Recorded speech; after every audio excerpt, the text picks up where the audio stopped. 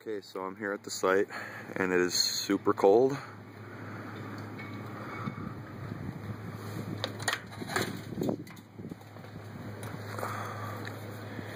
And there are butterfly sculptures all over the place.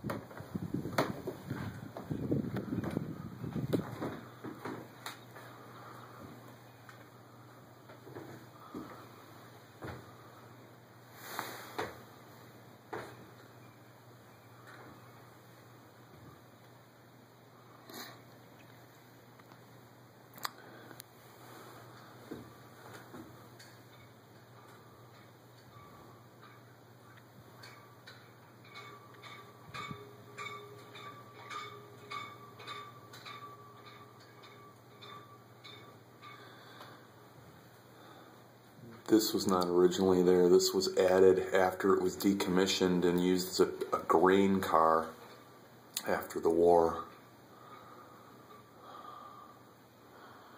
This car, this actual car was used to transport prisoners to their death.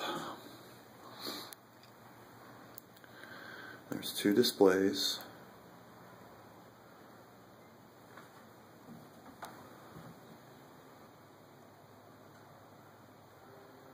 All the paper clips are housed in here, and it, it is deep, very deep.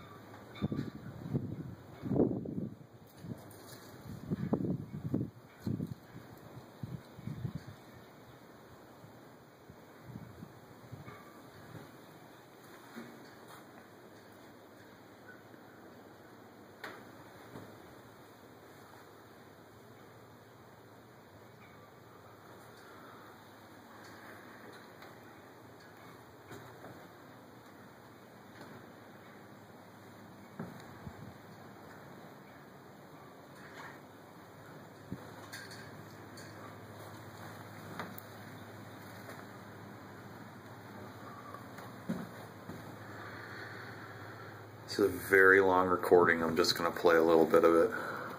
The Children's Holocaust Memorial. Please be respectful of this car. No food, drink, or gum is allowed. We thank you for coming here. This project began in 1998. It is the subject of a documentary entitled Paperclips, filmed and edited by the Johnson Group in McLean, Virginia, with production assistance from Matthew Hilsick. There's also a book, Six Million Paperclips, written by Peter Schroeder and Dagmar Schroeder Hildebrand. We hope that the love, hard work, and lessons of clients demonstrated by the students, staff, and community of Whitwell Middle School will encourage you to return to your own community determined to make it a better place. Each of you has the amazing power of one that you can use to transform the world and send a message that hate will not be tolerated. Please use that power for good. We are grateful to Baris Lebovitz's family and friends and David Booker of B&B Crane for their generosity, which funded the placement of the car on tracks donated by CSX Railroad. The decks and the landscaping surrounding the car were all donated by local individuals and local companies, with much of the work done by the Pickett, Higdon, and Roberts families, along with Steve Hudson. All of the lumber to build the decks and platforms were donated by Home Depot in Chattanooga, Tennessee. Once inside the car, you're going to notice all the paper clips that have been collected. Today, we have over 30 million. There are over 11 million paper clips in this car, representing all of the victims of the Holocaust whose name, method of murder, place of burial, and date of extermination were meticulously recorded by the Nazis. Six million of these were Jewish, of which one and a half million were children under the age of 14. The other five million victims included righteous Gentiles, Jehovah's Witnesses, Gypsies, people with disabilities, and homosexuals. These paperclips have come from all seven continents. The paperclips you see are not on the platform. They cover an area approximately two feet deep, six feet back, and nine feet across. Paperclips were chosen to represent the victims of the Holocaust because a Norwegian Jew, Joseph Weber, is credited with the invention of the paperclip. Norwegians wore them on their lapels as a symbol of resistance to the German occupiers during World War II. The paperclips we received, as you can see, are varied in form and color, just like the diversity of the Holocaust victims they represent. Paper clips from the United States are normally silver colored and rounded on both ends. However, European paper clips are generally pointed on one end, squared off on the other, and made of a copper alloy. We have paper clips ranging in size from half an inch to over three feet in length. Every paper clip represents a life lost in the Holocaust. The paper clips have been accompanied by letters telling why the person sent the clip. The letters are housed in our artifacts room inside Whitwell Middle School. We have over 30,000 of these letters and several thousand emails. They, along with the other artifacts, can be viewed by appointment. Information for scheduling an appointment is on the back of the brown brochure, which can be found in the box near the gate. We stopped counting paper clips when we reached 30 million. People always ask what was done with the paper clips that are not in the car. There are 11 million paper clips honoring the children who perished during the Holocaust in the sculpture on the north end of the car. We sent 6 million paper clips to a school in New Jersey that was conducting a Holocaust study project. The rest of the paper clips have been given out to students as they have toured our facility or put in teacher education boxes containing a history of the shtetl of Lidar, Poland, and a paperclip for each person exterminated in that shtetl.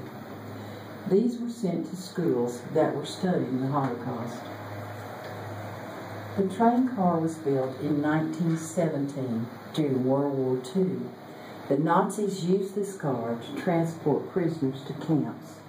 This part was this car was part of the German Reich it is one of the last remaining cattle cars of the Nazi era.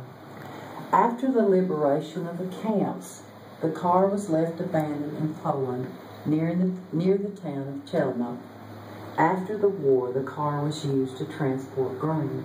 That is why the train, the train car has large holes in the roof. A German company bought the car in the 1970s. The car was located in a railroad museum in Robel, Germany.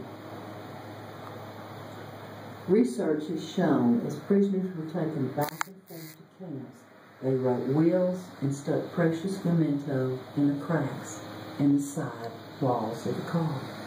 After the war was over, the cars were searched to remove any evidence. We would like to remind you that the holes you see in the ceiling were not there while the car was being used by, as a death car by the Nazis. These holes were put in after the war for use as a grain car. If you look closely at the ceiling a little farther north from the existing ceiling hole, you will see some newer wood where another ceiling hole used to be. Before the floor had to be replaced, there were also grain chutes in the floor.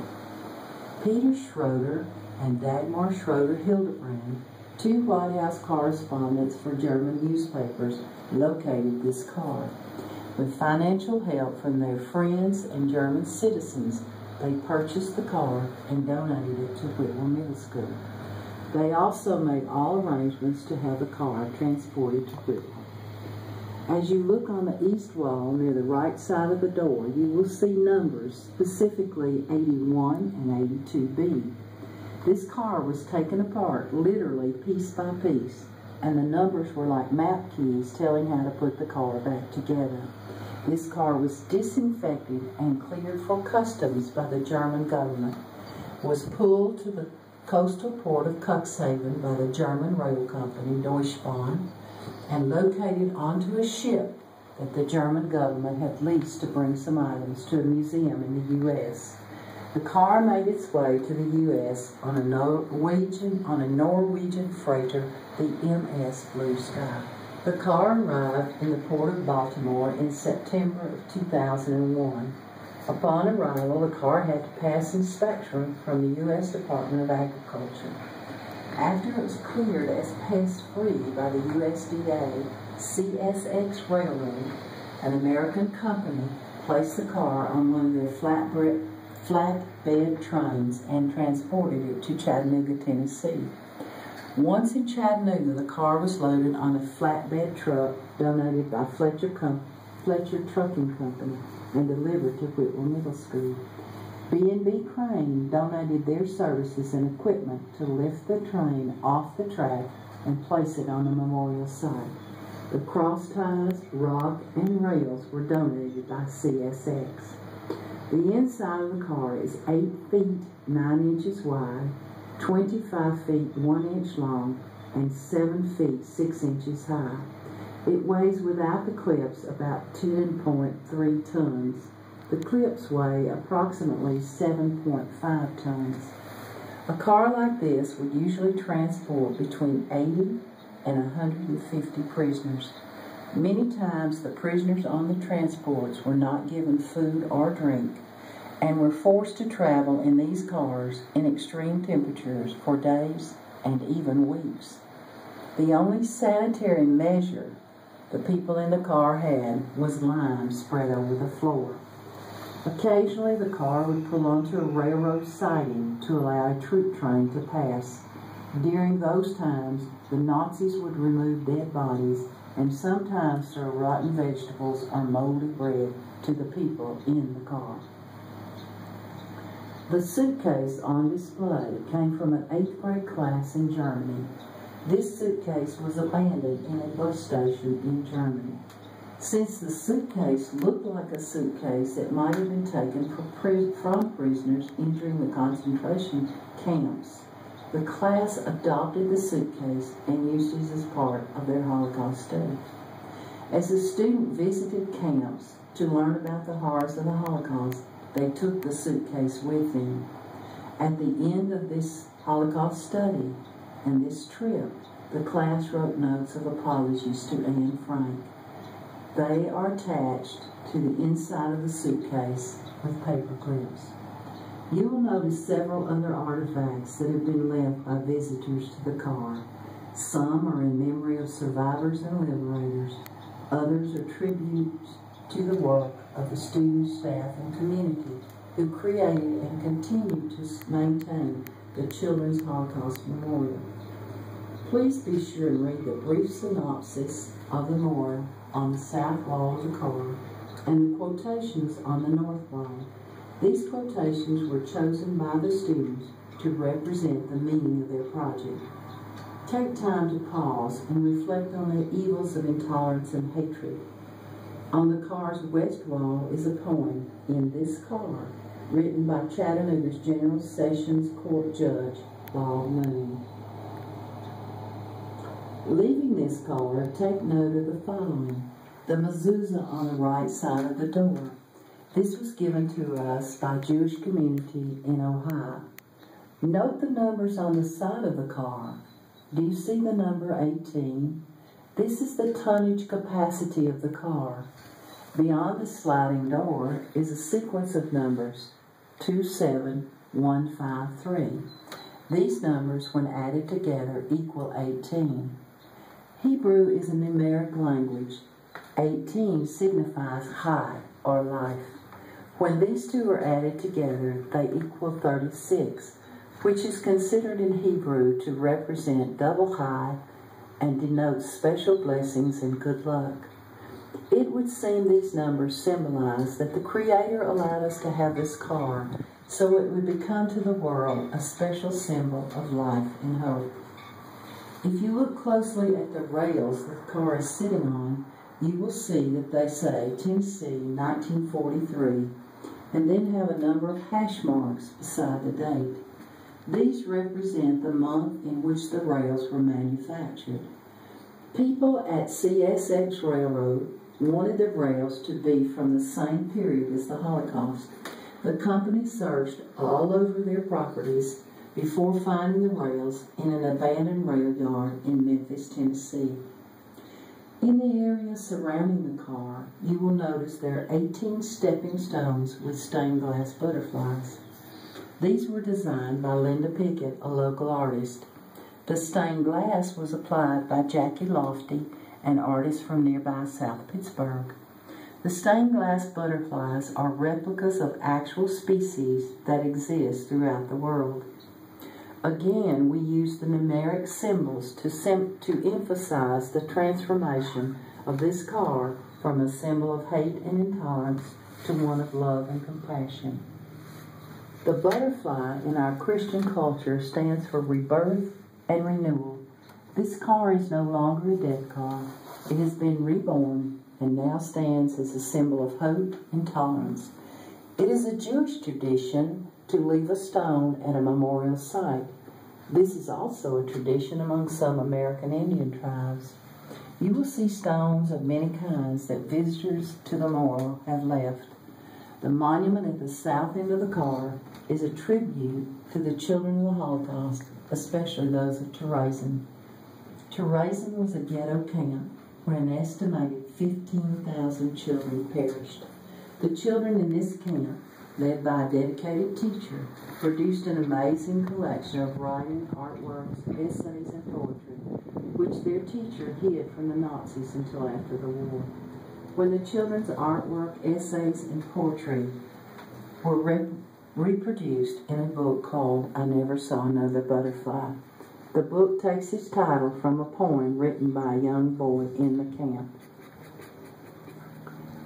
We believe that the Creator ordained this Children's Holocaust Memorial.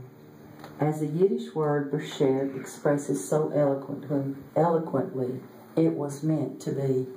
As you leave this memorial, reflect on the courage of people who endured the Holocaust, the horrors of the Holocaust, and all of the world's people who have endured the horrors of war and persecution. As you go about your daily life, use all of your powers to help and encourage the people in your community. Seek to find a simple act you can commit to make our world better. Exercise your amazing power of one to create a world where all men are not only created equal, but are treated as equals. A world where respect, love, and acceptance become the rule and not the exception. Become our partner as we seek to change the world, one person at a time. We hope that your visit causes you to examine your actions toward others. Thank you for being here. If you have further questions, you may log on to www.whitwellmiddleschool.org. Made it. I didn't think I was going to be able to hold this camera in this cold that long.